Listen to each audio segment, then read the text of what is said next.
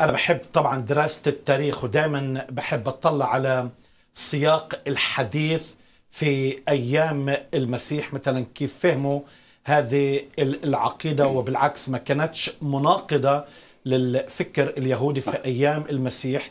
وكل يهودي من أيام موسى حتى يومنا هذا دائما بردد العبارة اسمع يا إسرائيل الرب إلهنا رب واحد.